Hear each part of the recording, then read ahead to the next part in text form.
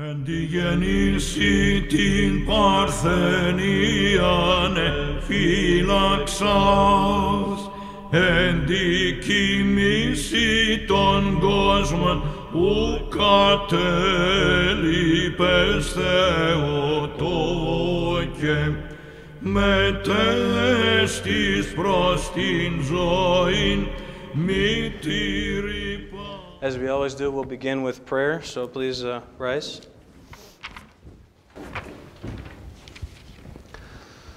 Let us pray to the Lord. Lord, have mercy. We give thanks unto you, O Lord God of our salvation, for you do all things which are for the welfare of our souls, that we may ever look upward to you, the Savior and benefactor of our souls. For you have refreshed us in that part of the night which is past, and have raised us up from our beds, and has led us to stand here in worship of your precious name. Wherefore we entreat you, O Lord, to give us grace and power, that we may be vouchsafed with understanding, to sing praise unto you and to pray without ceasing, in fear and trembling, working out our own salvation through the help of your Christ. Be mindful, O Lord, of those who cry aloud unto you in the night. Hearken unto them and have mercy, and crush under their feet invisible and warring enemies. For you are the King of peace and the Savior of our souls, and unto you we ascribe glory. To the Father, and the Son, and the Holy Spirit, now and ever, and unto the ages of ages. Amen. My hope is the Father, my refuge is the Son, my protection, the Holy Spirit. Holy Trinity, glory to you. I place all my hope in you, Mother of God. Keep me under your protection. Amen. Please be seated.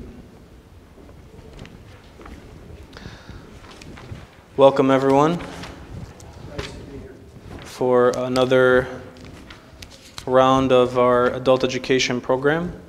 Uh, this year, you know, in thinking about what uh, we were going to be studying, you know, we had done the, fir- the first section we kind of covered was the liturgy.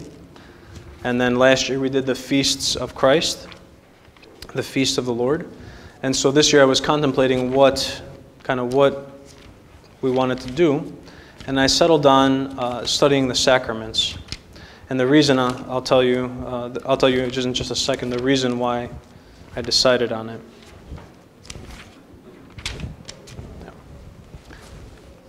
The reason I chose the sacraments was because, uh, first of all, it kind of flows out of the liturgy to continue looking at the other sacraments of the church. Obviously, the liturgy kind of holds a, a central place in the life of our church as the sacrament, the receiving of the body and blood of Christ.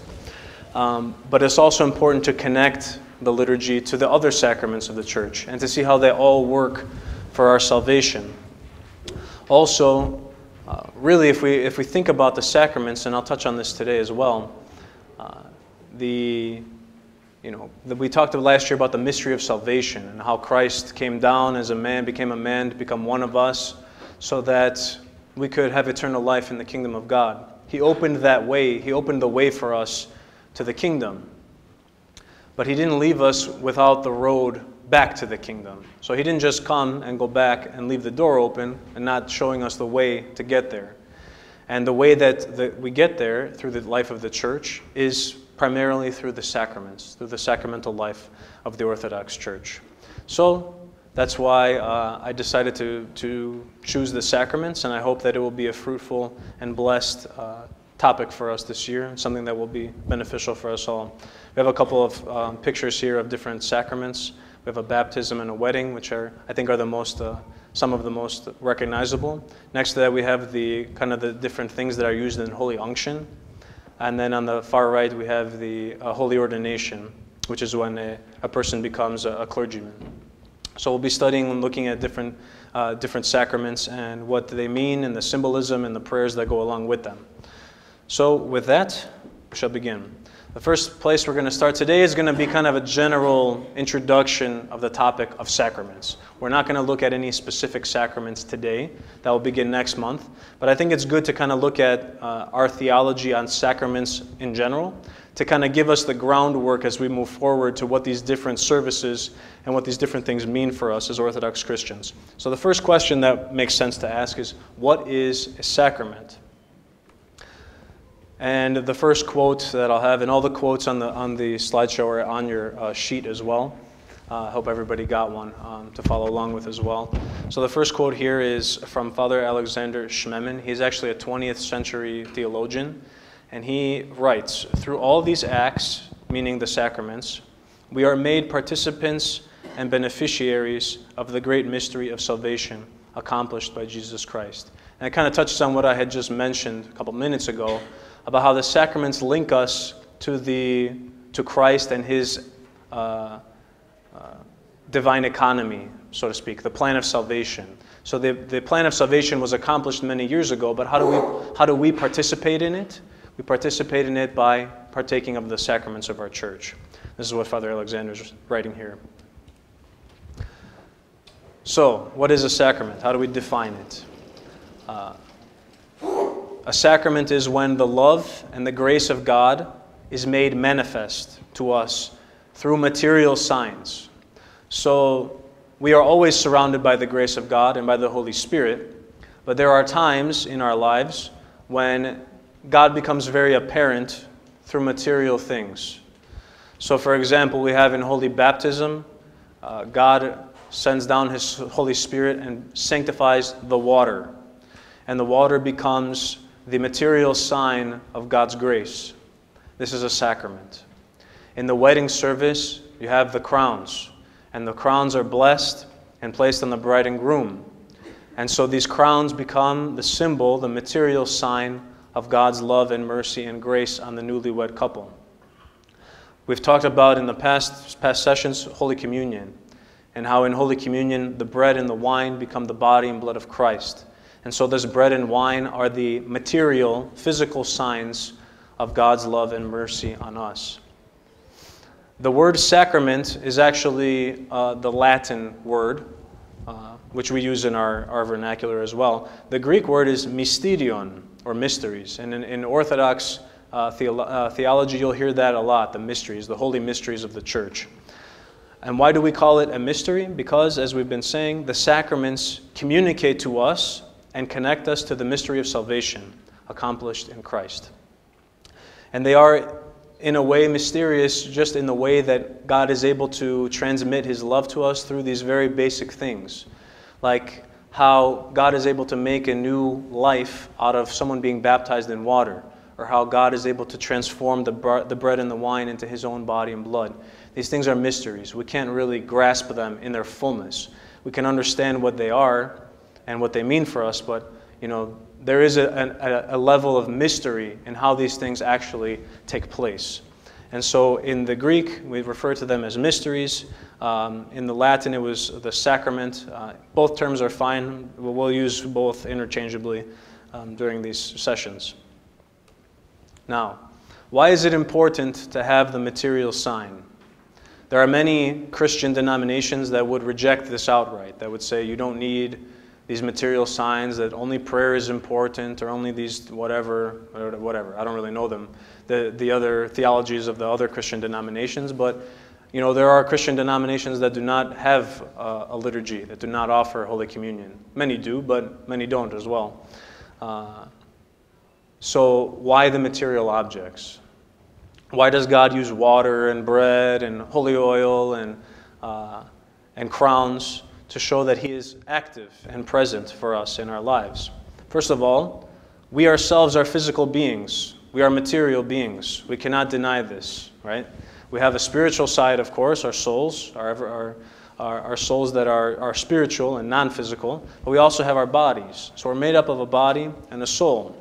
And so God wants to touch every part of our being not simply the spiritual or the physical, but both. And he's able to do these in the sacraments by, us, by placing spiritual significance and spiritual uh, benefits in these physical objects. The second thing is that creation itself is good.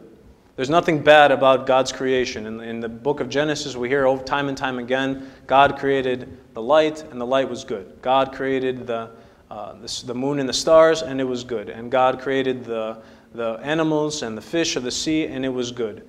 Uh, and at the end, God said it was, and the, uh, the author Moses, he says it, it was very good. So we know that creation itself, there's nothing wrong with it, there's nothing bad about it to say that oh, we should not use it in our worship services.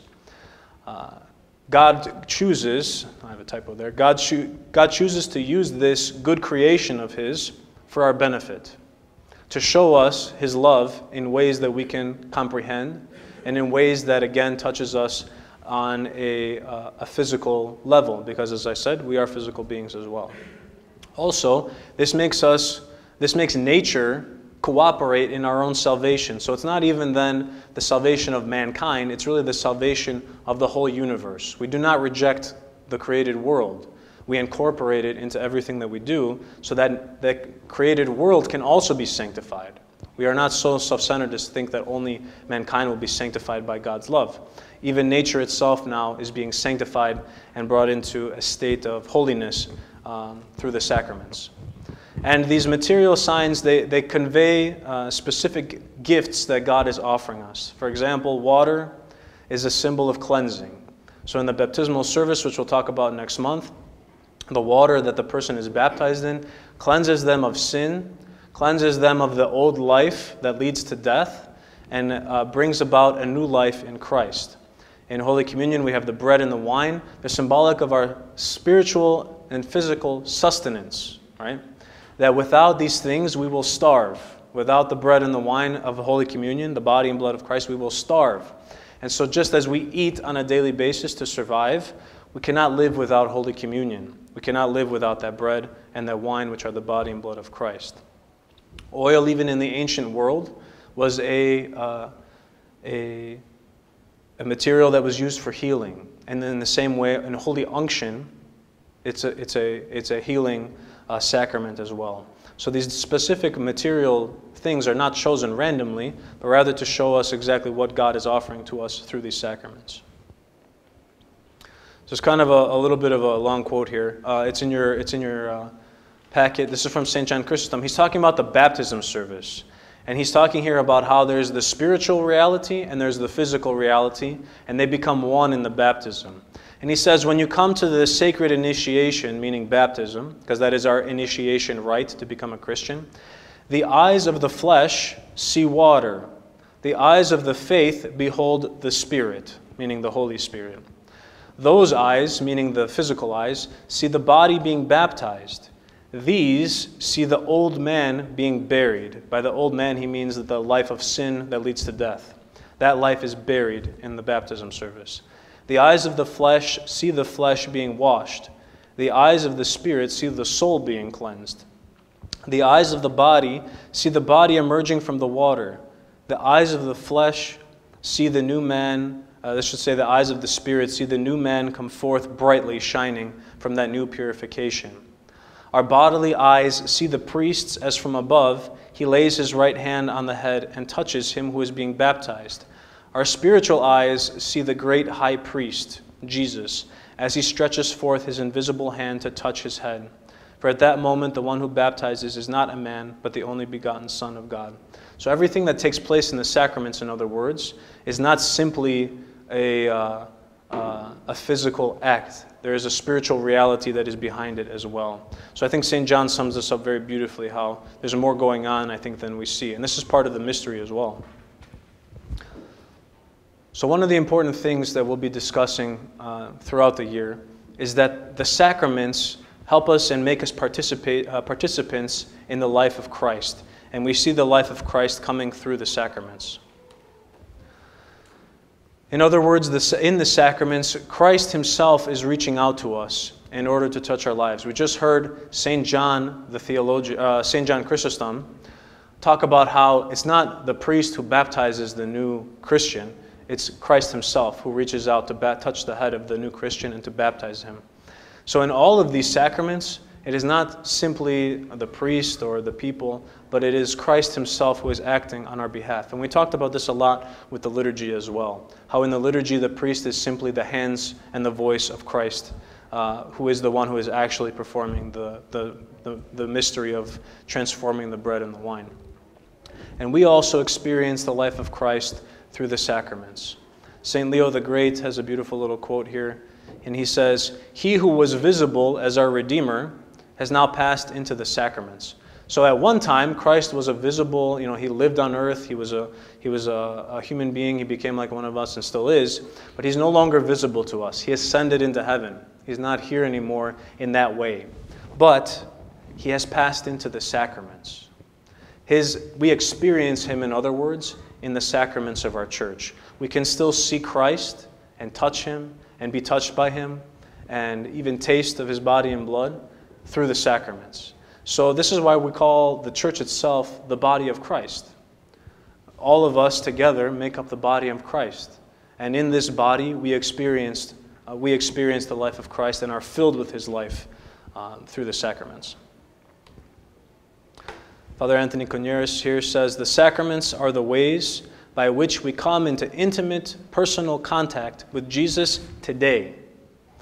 The sacraments are like the hands of Jesus reaching out over the expanse of time to touch us with his love and power and let us know that he is still with us. And it's a very powerful thing for us to think about as Christians that God, even though we live 2,000 years after He left this earth and ascended into heaven, that He is still reaching out to us to let us know that He is with us and that He wants to fill us with His love and His power. So, one of the questions, it's like a Sunday school trivia gimme, right? Is how many sacraments are there in the Orthodox Church? So, the basic answer that we usually give is seven. Yeah, that's the usual answer that we hear. And those seven main major sacraments are baptism, chrismation, Holy Communion, Holy Confession, Holy Unction, marriage, and Holy Ordination. Those are the seven. What you see here in the picture is Holy Unction. That's the, the baby being chrismated. Um, or no, this is the chrismation, excuse me. This is the baby being chrismated after the baptism. Uh, and these are the ones that we're going to focus on primarily in, this, uh, in these sessions. Um, but uh, numbering the sacraments was never really a part of our tradition. Sorry, I know the text is a little bit small, but I'll, I'll kind of explain um, as, as what I have written down here. Numbering the sacraments, in other words, was never really a thing until uh, I believe it was like the 13th, 14th, 15th century in the West. So, really, it's a function of um, the Catholic Church, who decided that the number of the sacraments should match the number of the gifts of the Holy Spirit which St. Paul lists in his letters. So they list seven. And in our church, we have similar rites as the Catholic Church. And so we also, many people ascribe seven. But uh, there are actually other ones. there are more than seven. Uh, so there are minor sacraments. The seven we talked about are kind of like the big ones, right? They're the really major ones. There's also other ones, though, and here's some other examples I have listed. For example, when a person decides to become a monk or a nun, the monastic tonsure is one of them. You have the great blessings of the water at Epiphany. You have the funeral service is a minor sacrament. You have the consecration of a church, which is a sacrament. You have the anointing or crowning of a king, which we don't really do anymore because we don't have kings. But in the old days, this would have been done in, through the life of the church. The king would have been anointed. You have something like preaching, which we don't really think about as a sacrament, but preaching can make present Christ. preaching can bring people closer to Christ. And in that way, through the spoken word, which is that physical sign, the people are brought closer to Christ. Things like iconography, religious art, and music can be sacramental. Holy relics of saints, which are, again, physical signs of the grace of God. You have other blessings, such as the blessing of wine and bread like the artoclasia. Again, minor, these are minor sacraments, but again, we have a physical sign that shows God's love. Also, the blessing of uh, fruit, homes, fields. There's blessing, prayer, uh, blessing prayers for uh, livestock, uh, especially for those who are farmers. There's blessing prayers. Uh, there's special blessing prayers for Pascha, for the eating of meats and cheeses after the fast. And all these things are sacramental in their own little way. The last one here I thought was very interesting, which was uh, charity. In other words, almsgiving. And there's a little quote here from St. John Chrysostom. It says, Charity is a sacrament. For our sacraments, meaning the sacraments of the church we usually think about, are above all God's charity and love for mankind. So if in the sacraments God shows us charity, then when we go out and show charity to others, then we are bringing Christ to these people. St. John has another beautiful quote. I don't have it included here, but I just thought of it, where he talks about people who are coming to church and they pass by the poor on the way there who are on the doorsteps of the church, and they do not offer anything to them.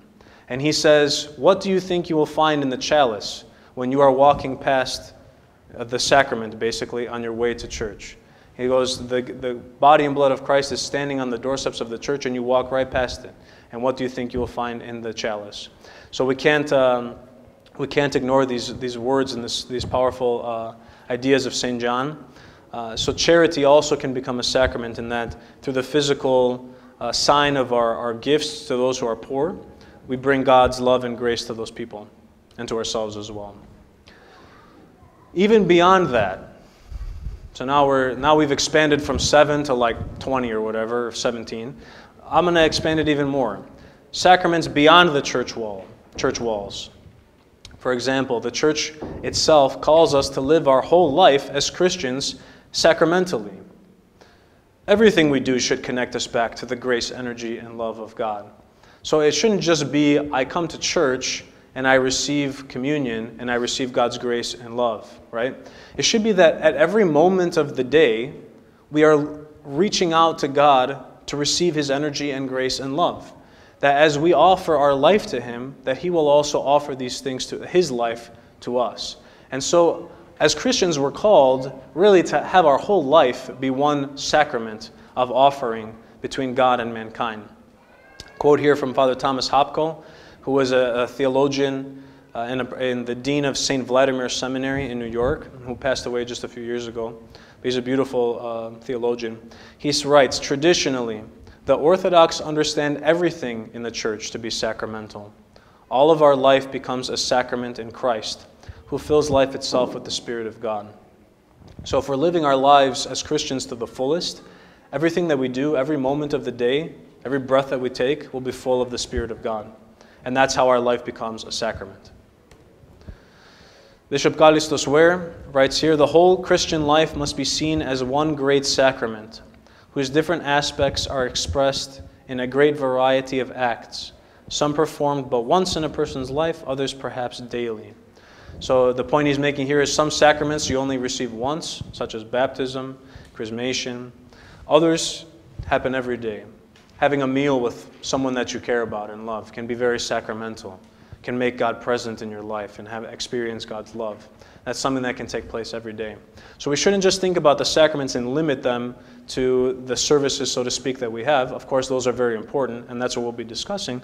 But we also have to have an understanding of sacrament as touching every part of our life. That everything that we do really should be offered to God in the, in the same way that we offer the bread and wine in, in the liturgy, so that God can fill our life with His Holy Spirit and with His life. Even going beyond that, we can see that all of creation, the whole universe, can be a sacrament for us. For example, beauty in nature. So, growing up in Chicago, I didn't really know what nature was. Like, we have like forest preserves and we have uh, parks, and the botanic gardens are nice and things like that. But until you really go somewhere that has a, a, a different level of natural beauty, you really don't understand it, right? So my presbyter is from Utah. So now that I've been many times to Utah, uh, I've had the chance to experience it. And when you go up into the mountains and you're surrounded by these beautiful trees and streams and waterfalls, and you look down over the valley, the one thing that strikes you most is how much God loves us, right? You see this beautiful creation and you say, Look at how much God loves us. He created all of this. He did all of this for our sake, you know, so that we can grow closer to Him. And in that moment, when you're out in, in that beautiful natural space, God calls us and He draws us closer to Him. And we are drawn closer to Him through that beauty. So, this is an example of how the whole universe is God's sacrament. He's in, in everything, in every little corner of this created world, He's trying to bring us closer to Him. He's trying to help us to experience Him in our own lives. And this is the mystery of salvation through the sacraments. So now that we have an idea of kind of the broader sense of the word sacrament, uh, we'll, move, we'll move on here. Any questions so far before I continue? No? Okay, good. Now, one of the things as a priest I feel like is very important to talk about when we talk about the sacraments. So, me now with sacraments, I'm kind of refocusing, zooming back in to the services of the church, is that they are not magical, they're not magic tricks, they're not like hocus pocus stuff, right? So the sacraments are not magic. They're not they're not simply ancient rituals that invoke or conjure up the power of God for our benefit, right? We don't have that's like a like a witchcraft view of our services. And I, am not saying this to say that you all believe that, but there are those who do. Like the priest has to say these words in this order, otherwise the sacrament is not legitimate, right? Like, or if I come to holy unction to receive holy unction then I will be healed, which is not a bad thing to pray for, right? To pray for healing. But we also know that there are many people who receive holy unction who are not healed physically, who do not receive that healing, that, they're, that physical healing that they're looking for. This is also important to point out because through the history of our church, this has been a problem. For example, in the early church, the iconostasis was very short and the community was very close together. And so the people heard every word that the priest was saying. Some began to uh, memorize the liturgy and would simply do it at home on their own. They would, stay, they would go at home and they would have bread and wine and they would perform the liturgy at home by themselves. Because they had this idea that if they said the right words in the right order and did the right motions, that it would become the body and blood of Christ. So this is a false, this is a false mentality. Uh, and I would hope that is something that we, we can avoid and that we've, we've grown past. But I, I think it's worth saying. Again, is every person who receives Holy Unction healed? Does every baptized Christian become a saint? The answer, of course, is no. Why? Because it's not a magic trick. The priest doesn't go uh, say the magic words and, and poof, like you're going to be a saint. That's not how it works. Uh, what the sacraments, rather, are meant to do is they're meant to give you a personal encounter with God. They're not meant to be, um, again, uh, the, the term I'll use again is they're not meant to be like some trick, you know, of God where we conjure up His power and His grace for our benefit. They're meant to bring you close to Him so that you can meet Him and hopefully align your life with His so that He can fill it with yours. So, sacraments as personal encounter. This is how we should understand the sacraments as a personal encounter with God. In the sacraments, Christ reaches out to touch our lives in different ways sometimes healing, sometimes blessing, sometimes forgiving, such as in confession, sometimes empowering and uniting, etc., etc., etc. Father Anthony here writes again Through the sacraments, God shares his life with us. He redeems us from sin and death and bestows on us the glory of immortality. The kingdom of God becomes accessible now in the sacraments, through which being in Christ and sharing in the life of God are realized. So the sacraments are a sharing in the life of God. Each encounter is made for us on a personal level. Personal level. So the sacraments are meant to be personal, something that each affect each one of us on a personal level. And this is why, for example, when we have these sacraments, we always give our name, right? When the person is baptized, it's the servant of God, John, is baptized in the name of the Father and the Son. It's not you know, uh, a nebulous thing. It's for this person. Same thing with chrismation, right? With Holy Communion, the servant of God, John, receives the body and blood of the, our Lord Jesus Christ. When a priest is ordained, they use his name, right? It's specific to a, a personal, on a personal level. Even things, again, like Holy Unction. When a person is anointed with Holy Unction, you use your name. Uh, one of the things that in my readings, uh, Father Alexander Schmemann points to is the prayers for preparation of Holy Communion. And he says in these prayers, we see that communion is a very personal thing. And I have an example here I'd like to read just briefly. So, in this prayer, it says, Mortify the soul corrupting passions of my body, you who by, by your burial did lead captive the kingdom of Hades. So, Christ is buried for all of us but now it is for the, the, the cleansing of the passions of my body.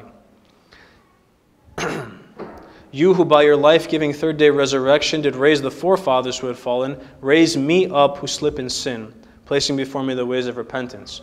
Christ is resurrected for the sake of all of us, but now in Holy Communion, I experience it on a personal level. You who by the descent of the comforting Spirit did make your sacred disciples precious vessels, show me also to appear a vessel for his descent. So in the Holy Spirit, Christ fills his disciples and through them the whole world with the Holy Spirit. And now, as we take partake of the sacraments, we ourselves become personal vessels of the Holy Spirit as well. Let's talk about that for a moment vessels of grace. We talk about how the sacraments impact us differently, right? Uh, and how the sacraments affect us and impact us is dependent on us and what we are able to receive. Think about someone going to a well or a spring of fresh water. They're only able to take with them as much water as fits in their water bottle or canteen or whatever they brought with them, right? If they bring a big, big old thing, they can take a lot of water with them. But if they only bring a little, like imagine the Ayesmo bottles we give out on Epiphany, you can only take that much with you. In the same way, when we come to receive the sacraments, we are filled with the amount of grace that our souls are able to receive. Our souls are that vessel of grace of the Holy Spirit. And the more faith that we have, the more obedience and humility that we have to the life of God, the bigger our vessel becomes. And when we come to receive the sacraments, we are able to be filled more and more with God's grace. Father Anthony has a, a nice little uh, illustration here. He talks about a straw, like think of a drinking straw, that is placed in line with the current of the Gulf Stream or like a powerful river. If you, if you hold a straw in the middle of a powerful river, all of the essential quality, he writes, all the power of that stream or that river will flow through it if it's in line. If it's lined up with the way the water's flowing, it'll go right through, right? It'll become a conduit, it'll become a stream of the river itself, it'll become part of the river. So it is with human life. If we place our life in the direction of God's will, if we align ourselves up, if we align ourselves with the life of God, then it's not unreasonable to expect that the very life of God, with its great healing power, will flow through our life, just like the great river flows through a straw. So if we line our souls up, if we line our life and our spiritual life up with the life of God, He will flow right through us and fill us with His healing and His life. So, sacraments, uh, we're getting close to the end here. Sacraments transform human life from birth to death. So, for example, we have baptism, which is our birth into the life of the church. Chrismation gives us the energy for the life after the baptism. Communion, as we talked about, is our spiritual sustenance. We have the marriage service, which is uh, love, which is obviously a very important thing in the human life, and also childbearing. We have Holy Confession, spiritual healing, Holy Unction, physical healing, and we also have like services like the funeral service, which is when we die. So every moment of our life, and, and even before the baptism service, there's prayers on the day a child is born, there's blessings on the eighth day, the 40th day, there's all these blessings. So, really, if, if we uh, avail ourselves to the life of the church and the sacraments, every day from the day that we are born to the day that we're buried can be touched by Christ. And that's a very powerful thing for us. Father Thomas Hopko again. Thus, from birth to death, in good times and bad, in every aspect of worldly existence, real life, life as God has created and saved and sanctified it to be, is given to us in the church. So he's saying the true life, the full life, is given to us in the church, from our birth to our death. This is Christ's express purpose and wish, the very object of his coming to the world. And he quotes here the book of John I came that they may have life and have it abundantly. So in the sacraments, Christ is offering us his life to fill us, and so that at the time of our death, we may still have life, and that life will be eternal. Are there any questions before we dismiss for this first session? Yes, uh, you had an icon of Christ holding someone on his shoulder. What, yes. What icon is that? This is the icon of the Good Shepherd, but unlike what we typically see where he's holding the sheep around his neck, this is a, an icon where he's holding a man because really he's the, the shepherd of the sheep, but we're the sheep. So uh, I use this to show that Christ is, is always in touch with us. And in our, throughout all of our, especially our difficult times, uh, He carries us and, and, sends us His grace and His life. Uh, and I think that connects very intimately with the sacraments because this is the way that He sends these things to us. And so in the sacraments, Christ takes on that role again of this good shepherd who lays down his life for us, who takes care of us, and offers us everything that we need. So this is the good shepherd. Any other uh, questions? Yes, why, why is funeral not one of the main sacraments? Um, the, the question was why is the funeral service not considered one of the seven sacraments?